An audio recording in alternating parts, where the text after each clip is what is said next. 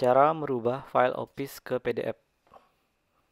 Kali ini kita akan merubah file Excel menjadi file PDF. Klik File, terus pilih Save As. Tentukan nama dari file yang akan kita buat. Pilih lokasi penyimpanan, misalnya di desktop. Terus pada file format, kita pilih PDF. Kemudian klik workbook untuk merubah semua sheet menjadi PDF atau kita klik sheet untuk merubah file sheet yang aktif saja. Klik sheet, terus pilih save. Maka file Excel tersebut sudah berubah menjadi file PDF. Kita lihat kita coba lihat dulu.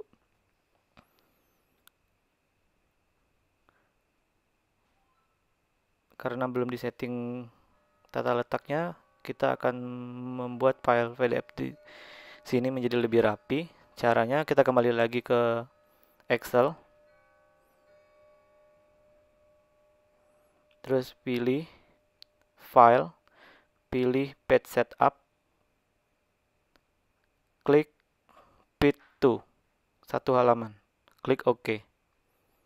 Jika sudah, kita klik File, Save As, tentukan namanya, lokasinya,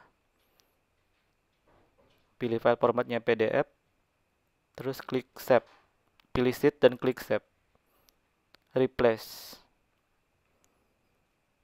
Jika sudah kita lihat lagi file PDF-nya, maka hasilnya akan menjadi jauh lebih rapi.